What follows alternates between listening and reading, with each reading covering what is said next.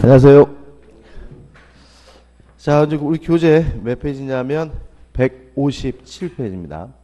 157페이지 보시면 뭐가 나오냐면 법률 사실에 불과 나와요. 일단 음, 법률 요건을 구성하고 있는 개별적 사실이 뭐죠? 법률 사실이고 요 법률 사실을 분류를 해보는데 일단 법률 사실이 크게 둘로 나뉘어요. 용태라는 것하고 사건이라는 것으로 나뉘고요. 나누는 기준은 뭐냐면 어, 사람의 정신작용입니다. 사람의 정신작용이 개입될 수 있는 거, 껴들 수 있는 거, 이걸 우리가 용태라고 하고요. 사람의 정신작용이 개입될 수 없는 거, 껴들 수 없는 걸 우리가 사건 이라고 합니다. 아, 따라서 이 사건이라는 말이 우리가 흔히 쓰는 말과 뜻이 달라요. 그죠? 다르죠? 그래서 어디 사건부터 볼 건데 어디를 보냐면은 159페이지 보시면 하단에 맨 밑에 이 사람의 정신작용이 기하지 않는 법률 사실에서 뭐가 나오죠? 사건이 나옵니다. 그러면 우리가 어, 사건이 뭐가 있느냐에 대해서 가장 중요한 게 뭐냐면 시간의 경과예요. 시간의 경과는 음, 사건입니다. 왜냐하면 시간이 흘러가는 것은 사람의 정신작용에 뭐될 수 없어요? 개입될 수 없으니까요. 그래서 예를 들어 가지고 소멸시효가 완성됐다. 그러면 시간의 경과니까 사건. 임대차의 존속 기간이 만료가 됐다. 그러면 시간의 경과니까 뭐죠? 사건. 20년 동안 남의 토지를 점유해서 취득시효가 완성됐다. 그러면 20년 동안 시간의 경과니까 뭐죠? 사건이죠. 그러니까 이것도 음, 개별적으로 기억하는 것이 아니라 크게 시간의 경과는 사람의 정신작용이 개입될 수 없으니까 사건이다. 이렇게 기억하시고 그 다음에 어, 자연현상도 사건이죠. 그러니까 그러면 우리가 뭘 할 수 있냐면은 어, 이렇게 뉴스 시간에 뭐 사건 사고 소식을 알려드리겠습니다 해서 나오지만 실제로 그건 법적으로 사건이 아닌 거죠. 누가 누구를 칼로 찔러 죽었다. 그러면 그 사람이 뭐가요? 정신작용이 개입되는 거죠. 누가 어느 집에다가 불 질렀다. 이것도 뭐죠? 용태가 됩니다. 그래서 실제로 뉴스 시간에 나오는 것 중에 진짜 사건인 거는 뭐죠? 일기예보. 오늘 비가 내리겠습니다. 그죠? 자연현상. 오늘은 온도가 뭐죠? 영하 10도입니다. 뭐 이런 자연현상이 뭐죠? 사건이고요. 여기서 뭘 할 수 있냐면 누가 칼로 찔러 죽이는 거는 사건이 아니라 뭐죠? 용태인데 사람은 반드시 죽죠. 그죠? 뭐 일종의 뭐죠? 자연현상에. 그런 의미에서 사람의 생사는 뭐가 돼요? 사건으로 들어가게 되는 거죠. 그죠? 그 다음 중요한 게 뭐냐면 부당이득입니다. 부당이득도 사건인데 나중에 또 한 번 또 정리해야 되는데 요 부당이득을 이해하실 때 부당한 이득, 잘못된 이득 요렇게 이해하시면 틀린 말은 아닌데 손해배상할 때 손해하고 헷갈려요. 그래서 이건 어떻게 이해하시는 게 좋냐면 원인 없는 이득 이렇게 기억하시는 게 좋아요. 원인 없이 갖게 되는 이득을 우리가 부당이득이라고 하고 원인 없이 갖게 됐다는 말은 그냥 그냥 생겼다는 거예요. 그 사람이 뭐가 개입되지 않았다는 거죠? 정신작용이 개입되지 않았다는 얘기니까 부당이득도 뭐가 돼요? 사건이 됩니다. 요 세 가지가 있습니다. 그죠? 그것이고 그 다음에 용태입니다. 음, 사람의 정신작용이 밖으로 표출된다면 이걸 우리가 외부적 용태라고 하고요. 사람의 정신장이 밖으로 표출되지 않고 머릿속에 머물고 있으면 이걸 우리가 내부적 용태라고 해요. 근데 이런 말은 우리가 안 쓰죠. 우리가 쓰는 말은 외부적 용태를 우리가 행위라고 합니다. 그러면 이제 행위의 법적 의미가 나왔어요. 행위란 음, 꾸물럭대는 게 행위가 아니라 사람의 정신작용이 밖으로 표출되고 있는 게 이게 뭐죠? 법적으로 행위가 되고요.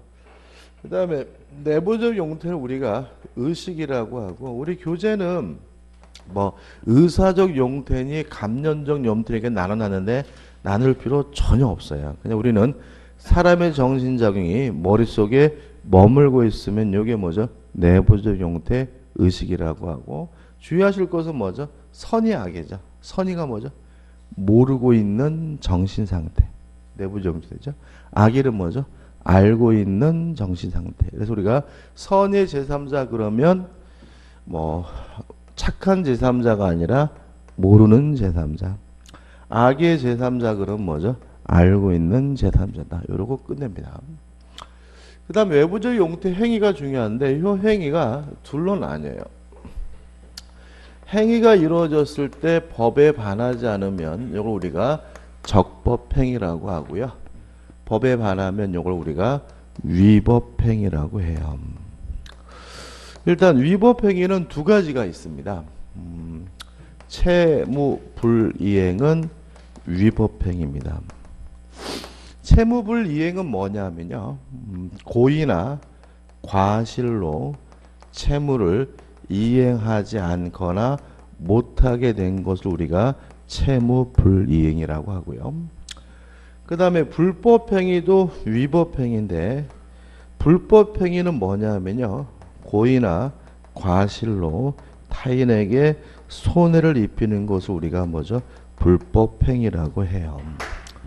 여기서 중요한 논점을 좀 생각해 봐야 되는데 우리가 손해배상이라고도 하고 손해보상이라고도 하거든요. 차이점이 뭐냐 하면요. 위법한 사람이 손해를 보존해 주는 것은 손해배상. 적법한 사람이 손해를 보존해 주는 것은 손해보상. 이렇게 나는 겁니다. 음, 예를 들어서 제가 자동차를 운전하다가 어, 빗길에 미끄러지면서 사람을 쳤어요. 그러면 저는 과실로 타인에게 뭘 입힌 거죠? 손해를 입힌 것이니까 저 행위는 뭐가 돼요? 불법행위고 불법행위는 뭐죠? 위법행위니까 제가 운전자인 제가 해주는 것은 손해배상인 거예요. 근데 제가 보험에 가입해 있으면 제가 해주는 게 아니라 누가 해줘요? 보험회사가 해주게 되는데 보험회사가 해주는 건 우리가 뭐라냐면 손해보상이라고 합니다. 보상받았다 그러거든요. 왜 그러냐면 보험회사는 아무 짓 안 했죠. 보험회사는 위법하지 않은 거죠. 따라서 이렇게 손해를 보존해 주는데 위법한 사람이 해주는 거는 손해배상. 위법하지 않은 사람이 해주는 것은 손해보상. 이렇게 되는 거거든요. 그러면 수용을 당했어요. 수용 보상금이 맞겠어요? 수용 배상금이 맞겠어요? 보상금이 맞겠죠. 왜냐하면 수용은 적법한 절차에 따라서 국가가 제 개인 재산을 가져간 것이니까 위법한 것이 아니라 뭐죠? 적법한 겁니다. 근데 여기서 중요한 논점이 나오는데 결국은 위법 행위여야지만 손해배상을 청구할 수가 있다. 이거 꼭 기억해 두셔야 돼요. 그러니까 우리가 어차피 우리 주택관리대 시험에서 한 개의 지문은 손해배상을 청구할 수 있느냐 없느냐가 꼭 나오게 되거든요. 그러면 개별적으로 기억하면 또 이것도 양이 굉장히 많아요. 근데 결국은 뭐예요? 위법행위여야지만 손해배상을 청구할 수 있다. 그 말은 결국은 채무 불이행이거나 불법 행위여야지만 뭘 청구할 수 있죠? 손해배상을 청구할 수 있다. 그래서 예를 들어서 사기를 당했어요. 사기 당했으면 손해배상 청구할 수 있는 거예요. 왜요? 사기친 놈은 불법 행위고 뭐죠? 위법 행위니까. 근데 제가 착오를 일으켰어요. 상대방은 저에게 손해배상을 청구할 수는 없는 거예요. 왜요? 착오 자체는 뭐 하잖아요? 위법하지 않고요. 착오가 위법하지 않으니까 뭘 청구하지 못하는 거죠? 손해배상을 청구할 수가 없는 거죠. 그죠? 그 다음에 또 두 가지의 공통점이 뭐죠? 고의 과실이죠. 그럼 결국 합치면 고의나 과실이 있어야 뭘 청구할 수 있죠? 손해배상을 청구할 수 있다. 이렇게 되는 겁니다. 그죠? 정리해보면 위법행위여야 손해배상을 청구합니다. 채무불이행이거나 불법행위여야 손해배상을 청구하고요. 다른 말로 하면 고의나 과실이 있어야 손해배상을 청구할 수가 있고요. 요 기억하시면 또 뭐죠? 한 문제짜리가 되니까 꼭 기억해 두시기 바랍니다. 그 다음에 적법행위입니다.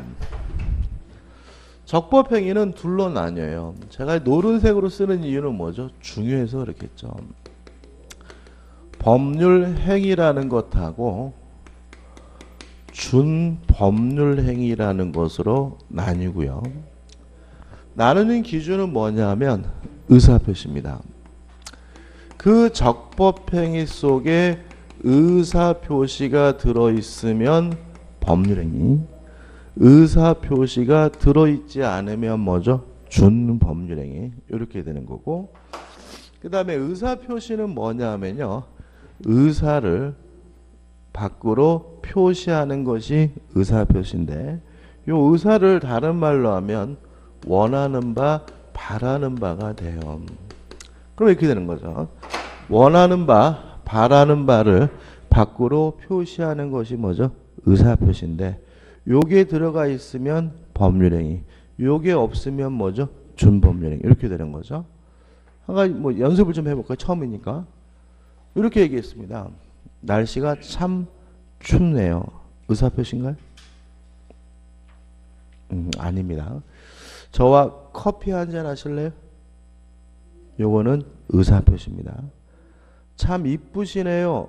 요거는 뭐죠? 의사표시가 아닙니다. 저와 결혼해 주실래요? 요거는 뭐죠? 의사표시입니다. 이제 표정이 다 변하셨어요. 그죠? 집이 참 멋있습니다. 요거는 뭐가 아니에요? 의사표시가 아닙니다. 그 집을 저에게 파시겠습니까? 이거는 뭐죠? 의사표시입니다. 감 잡히시죠? 그죠? 날씨가 춥다는 말 속에는 원하는 바가 없어요. 그러니까 뭐가 아니에요? 의사표시가 아닌데 커피 한 잔 합시다 라는 말 속에는 제가 뭘 먹기를 원하죠? 커피 먹기를 원하니까 뭐가 돼요? 의사표시인 거고요. 참 이쁘십니다. 이건 뭐가 아니에요? 의사표시가 아닙니다. 원하는 바가 없죠. 근데 저와 결혼해 주시겠습니까? 제가 뭘 원하죠? 결혼하기를 원하죠. 이건 뭐죠? 의사표시고. 집이 참 멋있다. 이런 말 속에는 원하는 바가 없으니까 의사표시가 아니지만 그 집을 저에게 파시겠습니까? 이 말 속에는 뭐가 있어요? 원하는 바가 있으니까 뭐가 돼요? 의사표시가 되는 거죠. 그 다음에 또 법률행위가 되려면 반드시 뭐가 있어야 되냐면 의사표시가 있어야 되는데 법률행위 효과는 무엇에 의해서 결정되냐면 의사표시에 의해서 결정된다는 걸 또 알 수 있어요. 커피 한 잔 하실래요? 좋대요. 그래 둘이 뭐 먹죠? 커피를 먹게 되죠. 결혼합시다. 좋대요. 둘이 뭐 합니까? 결혼하게 되고요. 집을 저에게 파십시오. 좋대요. 그러면 저는 뭐죠? 집을 사게 되잖아요. 그러면 커피 먹기를 원하면 커피를 먹고 결혼하기를 원하면 결혼을 하고 집을 사기를 원하면 집을 산다는 말은 결국은 법률행위 효과라는 것은 그 행위 속에 들어있는 의사표시 다른 말로 하면 원하는 바에 따라서 효과가 결정되게 됩니다. 굉장히 중요한 개념입니다. 그죠? 자, 법률행위 뭐냐? 의사표시가 들어있는 적법행위가 뭐죠? 법률행위다. 효과는 무엇에 의해서 결정되죠? 법률 규 아니, 의사 표시에 의해서 그 효과가 결정된다. 요건 좀 이따 자세히 볼 거고. 그 다음에 준법률입니다. 개념은 의사 표시가 없는 적법 행위가 뭐죠? 준법률행인데 효과가 어떻게 결정되냐면 준법률행위 속에 의사 표시가 없다라는 말은 준법률행위 자체는 효과를 결정해 줄 만한 뭐가 없다는 거죠? 요소가 없다는 거죠. 따라서 준법률행위의 효과를 하려면 뭘 봐야 되냐면 법률 규정을 봐야 돼요.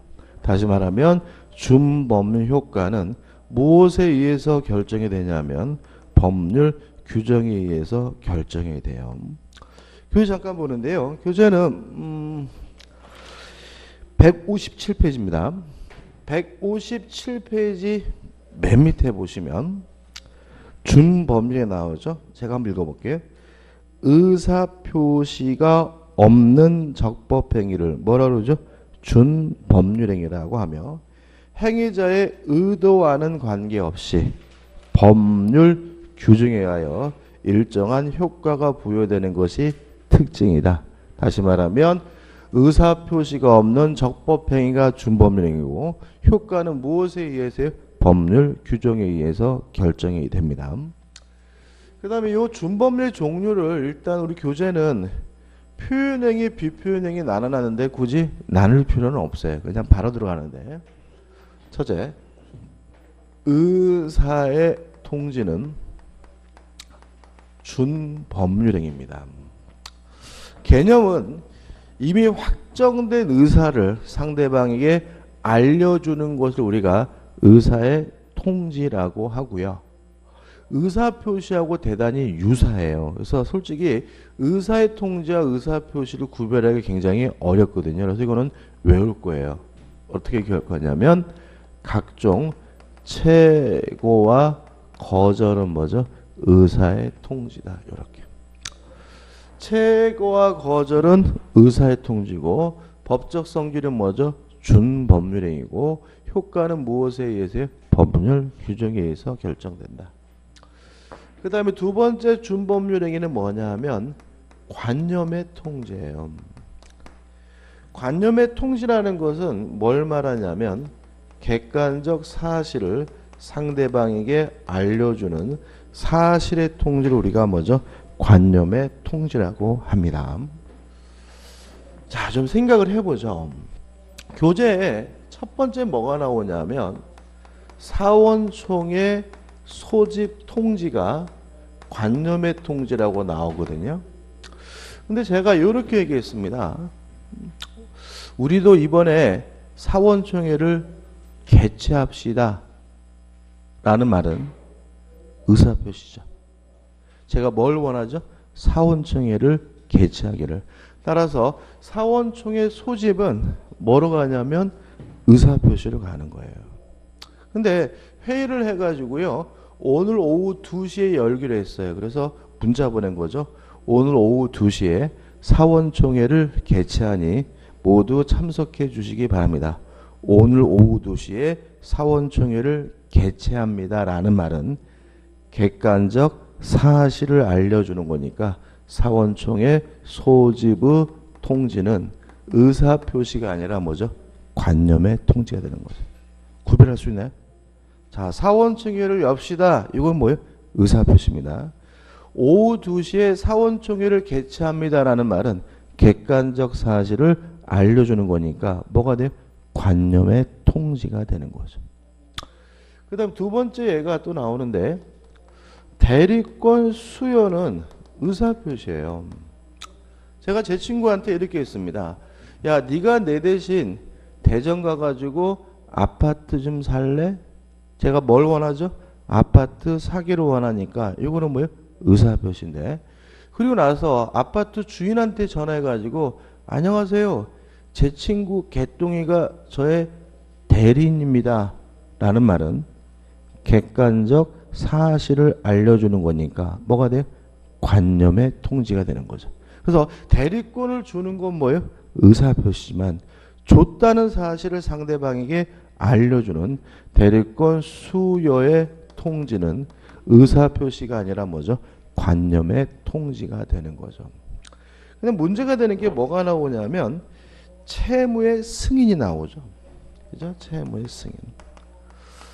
자, 그럼 여기서 이제 의문이 생깁니다. 우리 저번 주에 청약은 뭐죠? 의사표시고 승낙은 뭐죠?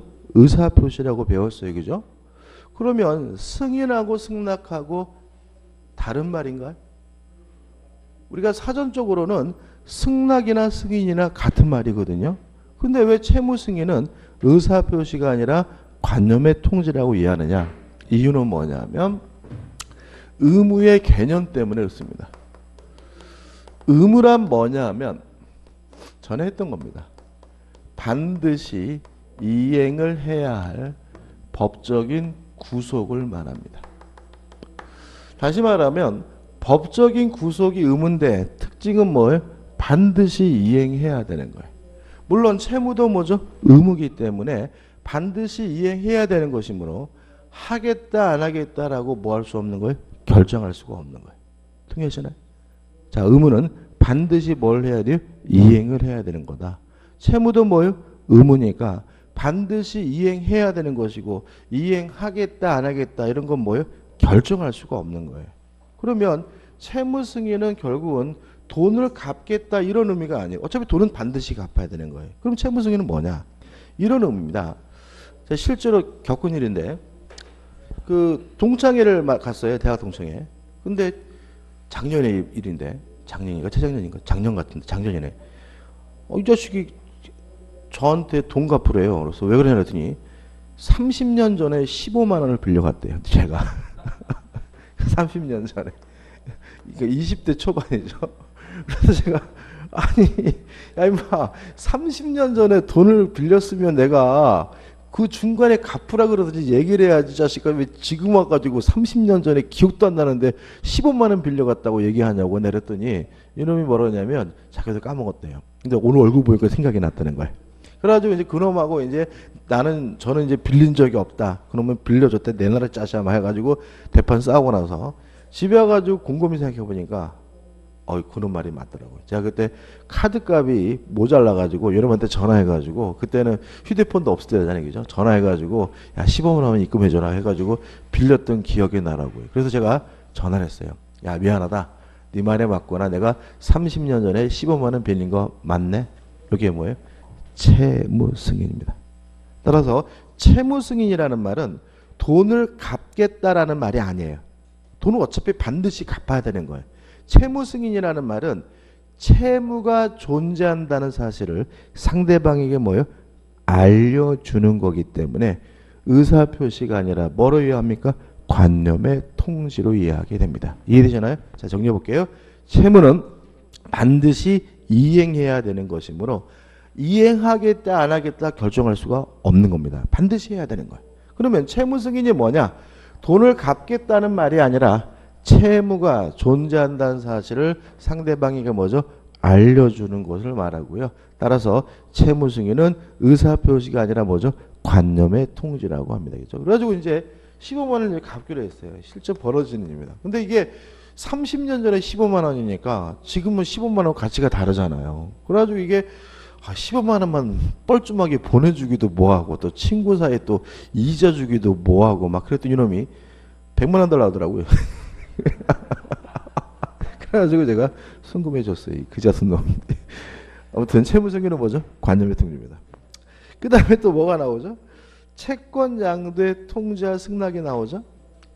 자, 채권을 양도했다는 사실을 알려주는 통지는 뭐죠? 관념의 통지인지 이해되시죠? 그죠? 근데 양도의 승낙이 또 뭐라고 나와 있어요? 관념의 통지라 나와 있죠? 자, 이것도 좀 이해할 필요가 있는데 한번 생각해 보자고. 우리 가백에요. 5천만 원을 빌려줘 가지고요. 5천만 원을 받을 수 있는 채권이 있어서 갑은 채무자고 을은 뭐죠? 채권자예요. 일단 을이 자신의 채권을 병에게 양도하고자 할 때 갑으로부터 동의나 승낙을 받을 필요는 없어요.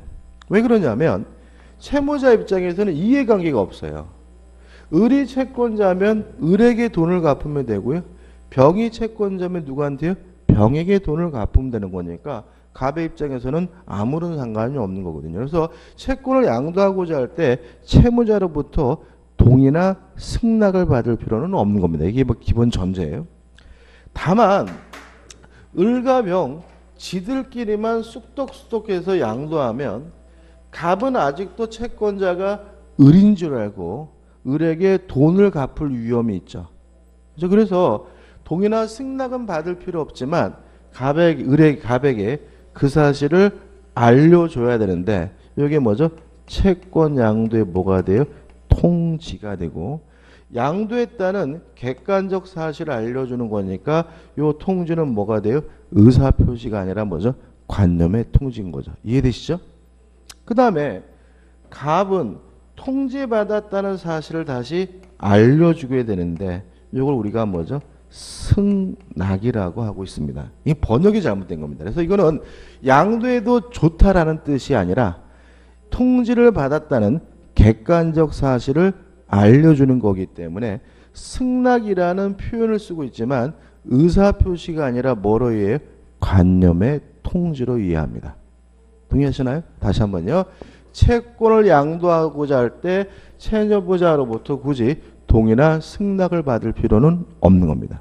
다만 채무자는 통지받았다는 객관적 사실을 상대방에게 알려주게 되는데 이걸 우리가 채권 양도의 승낙이라고 쓰고요. 그래서 승낙이라고 쓰고는 있지만 의사 표시가 아니라 뭐죠?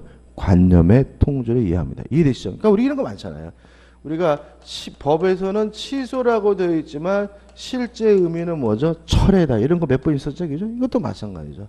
승낙이라고 쓰고 있지만 실제는 뭐죠? 승낙이 아니라 뭐죠? 객관적 사실 알려주는 뭐죠? 관념의 통지에 불과하다. 왜냐하면 채권을 양도하고자 할 때 채무자로부터 뭘 받을 필요 없어요? 동의나 승낙을 받을 필요가 없기 때문에 그런 거죠.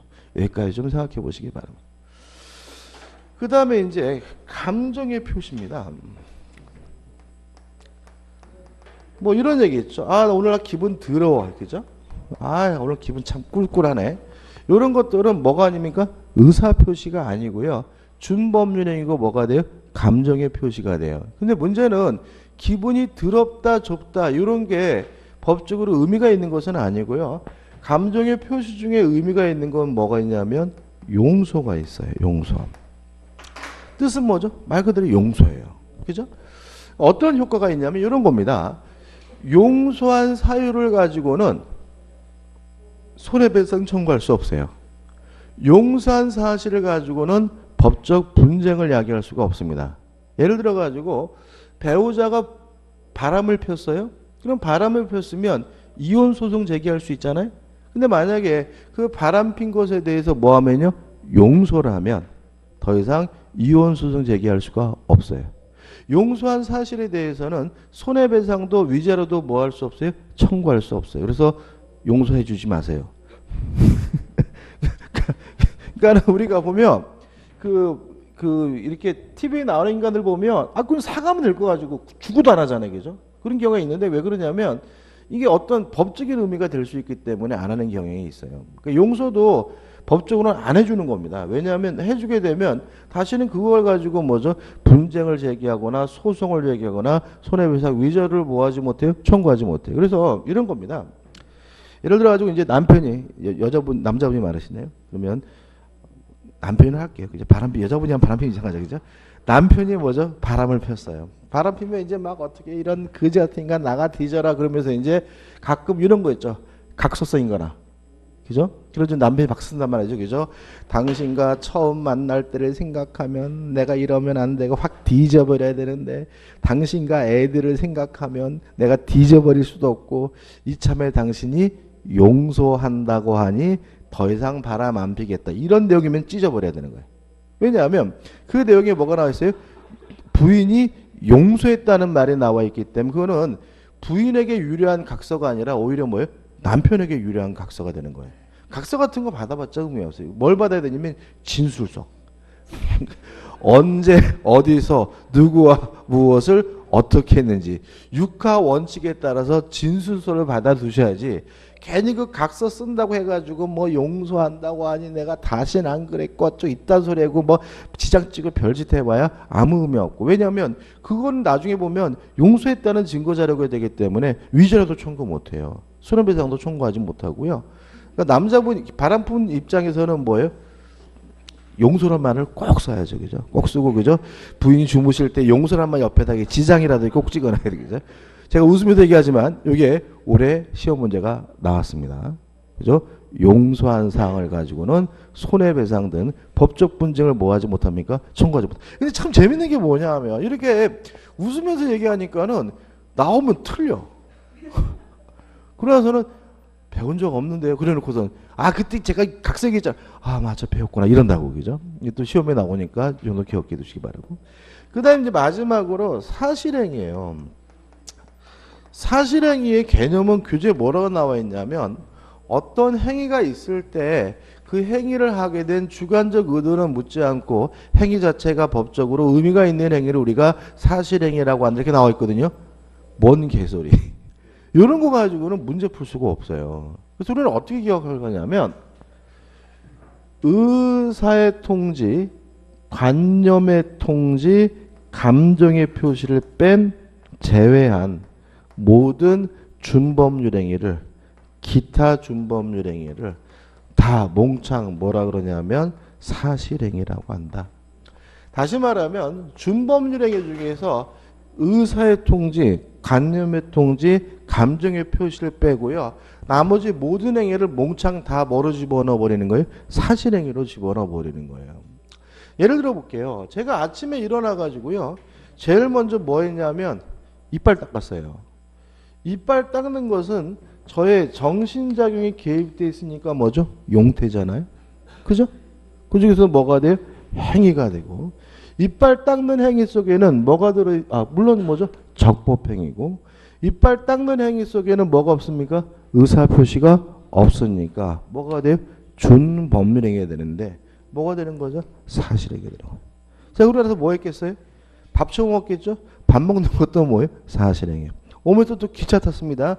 기차 타는 것도 뭐예요? 사실행위. 머리 감는 것도 뭐죠? 사실행위. 여러분들 지금 수업 듣고 계시잖아요. 이것도 뭐예요? 사실행위. 그래서 우리가 인간행위의 한 99%는 다 뭐로 들어가 버려요? 사실행위로 들어가 버린 거죠. 그래서 요 준법률의 중에서 요 세 가지를 제외한 나머지 모든 행위를 뭐라 그래요? 사실행위라고 하고 우리가 일반적으로 하게 되는 행위들은 대부분이 다 뭐가 돼요? 사실행위라고 생각하셨거나 하시면 쉬워요. 뭐 망치질하는 것도 뭐요? 사실행위. 삽질하는 것도 뭐요? 사실행위. 뭐 밭에다가 배추 심는 것도 뭐요? 사실행위. 나무 심는 것도 뭐요? 사실행위. 다 이렇게 들어가는 거니까 이 정도만 좀 정리해 두시기 바랍니다. 끝입니다. 자, 아, 요게 160페이지에 뭐로 돼 있죠? 박스로 정리돼 있죠. 그러니까 한번 좀 보시기 바라고 이것도 외우려고 하지 마시고요. 그냥 흐름을 좀 파악하셨으면 좋겠습니다. 자, 이제 163페이지로 갑니다. 문제 한번 풀어볼까요? 162페이지 오시면 문제가 하나 있죠. 문제 두 개인데 162페이지 4번 문제 한번 풀어볼까요? 4번.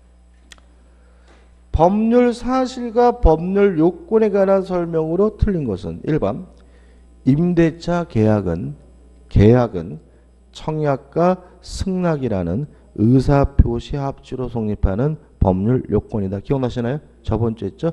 청약과 승낙이 모여서 계약이 만들어지고 청약과 승낙은 뭐죠? 법률 사실이고 계약은 뭐죠? 법률 요건입니다. 2번 어떤 사정을 알지 못한다는 의미에서 선의도 물론 뭐죠? 법률 사실이고요. 3번 시간의 경과는 사람의 정신적인 의하지 않는 법률 사실이다. 시간의 경과는 뭐죠? 사건이 되는 거죠. 4번 무권 대리 행위의 추인 여부에 관한 상대방의 최고는 의사의 통지다. 맞죠? 자, 최고는 의사의 통지고 뭐죠? 준법률 행위죠. 근데 실제로 이 문제는 답이 5번인데 요 4번이 5번에 대한 힌트가 되는데 5번 보시면 민법 제 552조에 따라 상대방이 최고했음에도 최고에다가 한번 동글방이 한번 쳐볼까요? 해제권자의 통지가 없기 때문에 해제권이 소멸하는 효과는 효과는에다가 동글뱅이 쳐보면 이렇게 되는 거거든요. 최고의 효과는 당사자 의사에 근거한다. X죠. 이해되시나요? 자 보세요. 최고는 의사의 통지고 준법률행인데 준법률에는 효과가 무엇에 의해서 결정됩니까? 법률 규정에 의해서 결정이 되죠. 따라서 최고 효과에는 당사자 의사에 의하여 근거한다는 지문은 뭐죠? X가 되고요. 당사자 의사에 의해서 효과가 결정되는 것은 뭐인 거죠? 법률행인 거죠. 그죠? 이게 실제로 이제 시험에 한 번 나왔을 때 굉장히 많이 틀리셨는데 왜 틀리시냐면 자꾸 뭔가를 외우려고 하고 이런 경향이 있어요. 민법 제 552조 이렇게 나오면 이런 분이 있어. 아이씨, 나 552조가 뭔지 모르는데 큰일 났네. 저도 몰라요. 그죠? 민법은 몇 조 몇 조가 뭐, 뭐가 있는지 아는 사람 대한민국에 아무 드라마에서나 그런 거예요. 드라마에서. 그죠? 그런 신경 쓸 게 아니고 결국은 뭐예요? 최고의 효과는 준법률행위니까 무엇에 의해 법률 규정에 의해서 결정되는 거니까 당사자 의사에 의해서 효과가 결정된다는 질문은 뭐죠? X다. 이렇게 캐치하는 거고요. 당사자 의사에 의해서 효과가 결정되는 것은 뭐만 그런 거죠? 법률행위만 그런 거는 좀 조심하시기 바랍니다. 그 다음 우측에 이제 법률행위죠. 자, 법률의 의의입니다. 좀 조심할 것은 뭐냐면, 어, 의사표시가 법률 사실이에요. 의사표시에 의해서 만들어지는 법률행위는 뭐죠? 법률 요건입니다. 이렇게 설명드린 건 이게 편하게 그런 거고요. 의사표시가 뭐예요? 법률 사실이고 의사표시에 의해서 만들어진 법률행위는 뭐죠? 법률 요건인 거거든요. 그럼 의의 한번 읽어볼게요. 법률행위란 자 지금 163페이지입니다. 일정한 법률 효과의 발생을 목적으로 하는 하나 또는 수개의 의사 표시를 불가결의 구성 요소라는 법률 요건이다. 여기서 의사 표시를 불가구열의 구성 요소로 한다는 말은 법률행위 되려면 반드시 뭐가 있어야 돼? 의사 표시가. 왜요? 의사 표시가 없으면 법률행위가 아니라 뭐죠? 준법률행위니까요. 그죠? 그 다음에 밑에 2번 법률행위와 의사표시 해가지고 1번 서설은 뭐 두 가지겠죠. 법률에 되려면 반드시 뭐가 있어야 돼요? 의사표시가 있어야 된다. 근데 효과는 무엇에 의해서 결정됩니까? 의사표시 원하는 바에 따라서 결정이 된다. 그 다음에 이제 밑에 2번 의사표시와 법률행위 관계 똑같습니다. 1번 의사표시는 법률행위의 불가결의 뭐죠? 구성요소이다. 그죠? 반드시 뭐가 있어요? 의사표시가. 그 다음에 넘겨보시면 2번 법률 행위는 뭐죠? 법률 요건이고 그 안에 있는 의사 표시가 뭐가 돼요? 법률 사실이다. 그죠? 2번, 3번. 그 다음에 4번.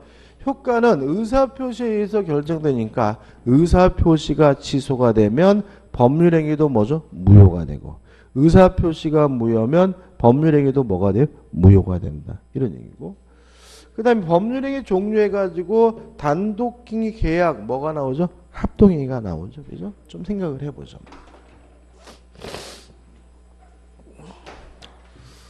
일단 의사 표시가 있으면 법률행위니까 의사 표시가 하나가 있는 것도 법률행위고 의사 표시가 두 개 있는 것도 뭐죠? 법률행위인데 하나만 있으면 성립하는 법률행위를 단독행위라고 하고요. 의사 표시가 두 개 있어야 성립하는 법률행위를 우리가 뭐죠? 계약이라고 해요. 여기서도 가끔 시험에 나와요. 무슨 말이냐? 갑이 을에게요. 일정한 의사를 표시했어요. 하나죠. 요것만으로 성립한다면 요게 뭐죠? 단독행위고 을이 갑에게 두 번째 의사를 표시하면 요게 있어야 성립하면 뭐죠? 계약인데 두 번째 의사 표시를 우리가 뭐라 그러냐면 승낙이라고 하거든요. 그러면 결국은 단독행위라는 말은 의사표시가 하나만 있으면 된다는 말은 승낙이 필요 없다는 거죠. 따라서 단독행위란 승낙을 얻을 필요가 없이 일방적으로 하는 법률행위가 뭐죠? 단독행위예요. 그 다음에 계약은 두 번째 의사표시가 있어야 성립한다는 말은 결국은 승낙을 얻어야 성립하는 법률행위가 뭐죠? 계약입니다. 가끔 시험에 나오는데 뭐 물론 문제는 뭐죠? 단독행위인 것은 계약인 것은 이렇게 찾으란 얘기죠. 근데 참 묘하게도 여기서 외워서 풀면 틀리게 문제를 설계해요. 그래서 실제로는 다음 중 단독행인 것을 이렇게 물어보면 머릿속에서 상계해서 푸는 게 아니라 다섯 개 지문 중에서 승낙을 받을 필요 없는 것을 찾아내시는 거예요. 다음 중 계약인 것을 물어보면 머릿속에서 외운 것을 끌어내는 것이 아니라 다섯 개 지문 중에서 뭐죠? 승낙을 얻어야 하는 것을 찾아내면 의외로 쉽게 풀리고요. 외워서 풀리면 참 신기하게 틀리게 문제를 설계하고요.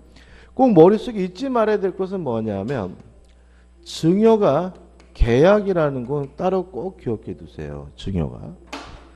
증여가 계약인지를 다 아세요. 근데 증여가 계약이라는 말이 무슨 의미냐면 증여가 계약이니까 증여가 성립되려면 뭐가 필요해? 승낙이 필요하다는 얘기죠. 예를 들어 제가 제 친구한테 야마 힘드냐? 내가 너한테 10억 줄게. 그때 이놈이 안 받아 짜샤. 네 돈. 그러면 못 주는 거다.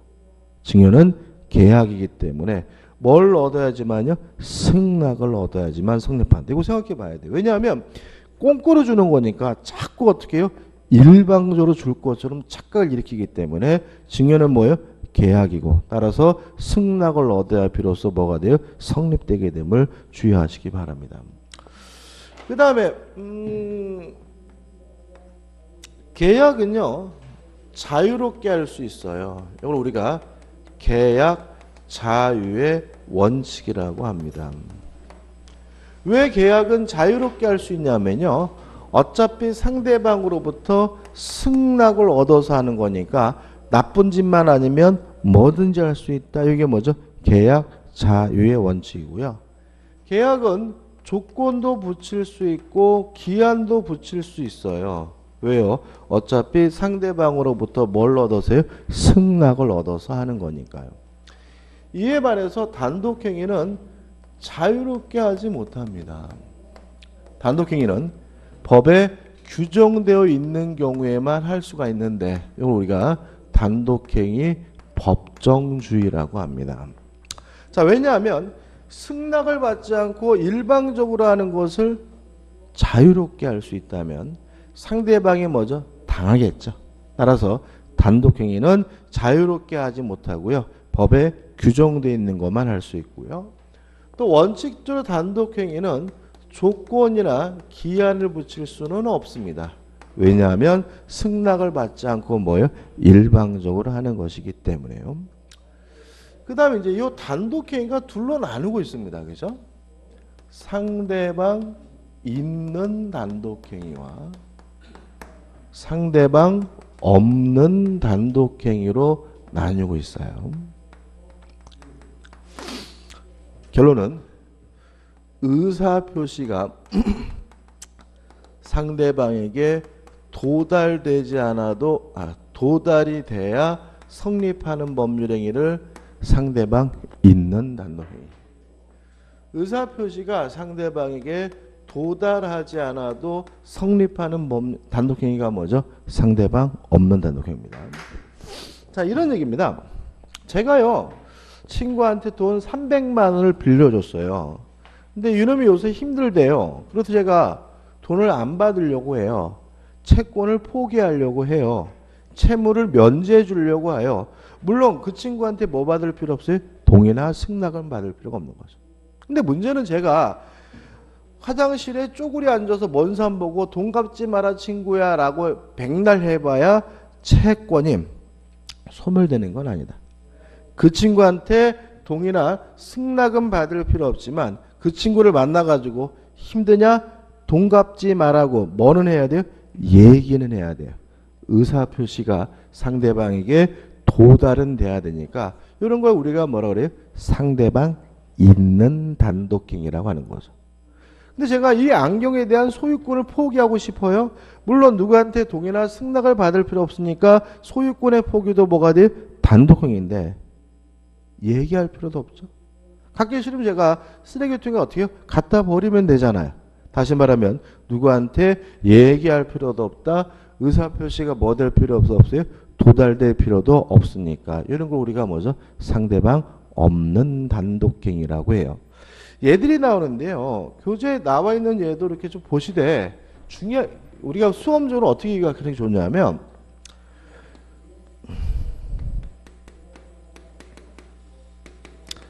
소유권, 점유권의 포기는 상대방 없는 단독입니다. 제가 이 안경을 포기하고 싶으면 누구한테 동의받을 필요도 없고 누구한테 얘기할 필요도 없으니까 소유권, 점유권의 포기는 뭐죠? 상대방 없는 단독행위고요. 이게 맞는 건 아닌데 우리는 수업 이렇게 기억하자고요. 소유권, 점유권 이외의 권리를 포기하는 것은 상대방 있는 단독행위다. 이렇게 기억하시면 문제 풀 때 편해요. 자, 채권의 포기는 뭐라고요? 상대방 있는 단독행위죠. 그죠? 제가요, 전세권을 포기하고 싶어요. 물론 집주인한테 뭐 받을 필요는 없어요? 승낙받을 필요는 없지만 집주인에게 전세권 포기하겠다고 뭐는 해야 돼요? 얘기는 해야 되니까 상대방 있는 단독행위죠. 제가 저당권을 포기하고 싶어요. 저당권을 포기하고자 할 때 채무자한테 동의나 승낙을 받을 필요는 없지만 채무자에게 나 저당권 포기하겠다라고 뭐는 해야 돼요? 얘기는 해야 되니까 상대방 있는 단독행위고 제가 임차권을 포기하려고 해요. 임차권을 포기하고자 할 때 집주인한테 승낙은 받을 필요는 없지만 임차권 포기하겠다라고 뭐는 해야 돼요? 얘기는 해야 되니까 상대 뭐 상대방 있는 단독행위잖아요. 그러면 전세권 용익물권이고 저당권 뭐죠? 담보물권이고 임차권은 뭐예요? 채권입니다. 그럼 합치면 뭐예요? 소유권, 점유권 이외의 모든 권리를 포기하는 것은 뭐죠? 상대방이 있는 단독행위다. 이거 하나만 좀 주의하시면 돼요. 그 다음에 우측에 보시면 중간에 뭐가 나오냐면 합동행위란 말이 나옵니다. 자, 이건 뭐냐면 의사표시의 방향인데 계약은 보면 중요한 개념은 아니에요. 갑이 을에게 의사를 표시하고 을이 갑에게 의사를 표시하니까 갑과 을의 의사표시 방향이 뭐죠? 대립돼 있죠. 근데 사단법인을 설립하려고 해요. 누가 설립하려고 하냐면 갑을병이 모여서요. 그러면 요 갑의 목적도 뭐죠? 사단법인 설립이고 을의 목적도 뭐죠? 사단법인 설립이고 병의 목적도 뭐죠? 사단법인 설립이니까 요 갑을병의 의사가 서로 대립되고 양립 대립되는 것이 아니라 사단 법인을 설립한다는 공동의 목적에 향해서 뭐죠? 나아가고 있거든요. 그래서 의사표시의 방향이 한쪽으로 모인다. 그래서 이걸 우리가 구심적이다. 이런 표현을 쓰고요. 이런 구심적인 것을 우리가 뭐라 그러냐면 합동행위라고 해요. 그래서 사단법인 설립행위에 대해서는 우리 학설이 뭐죠? 합동행위로 이해하고 있습니다. 근데 이것도 어, 시험에 나오기는 어려워요. 왜냐하면 최근에 이거를 또 계약으로 이해하려는 견해가 좀 강력한 편이기 때문에 학설이 대립이 있어요. 그래서 실제로 합동행위라는 개념을 알아두시되 중요한 건 아니에요. 그냥 사단법인 설립행위는 뭐죠? 합동행위다. 이 정도만 기억하시면 되고요. 우리는 앞으로 법률행위 하면 그죠? 단독행위와 계약 두 가지 가지고만 정리할 겁니다. 그 다음 우측 하단에 보시면 이제 뭐가 나오냐면 채권행위, 물권행위, 준물권행위가 나오는데 좀 쉬었다가 보도록 할게요.